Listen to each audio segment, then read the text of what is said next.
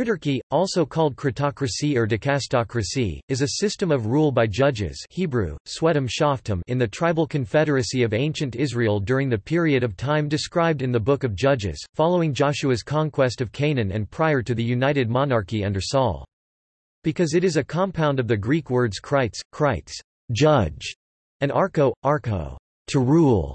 its use has expanded to cover rule by judges in the modern sense as well, as in the case of Somalia, ruled by judges with the polycentric legal tradition of Xeer, and arguably the Islamic Courts Union and in the fictional regime of Mega City 1, the focus of setting for the Judge Dredd franchise.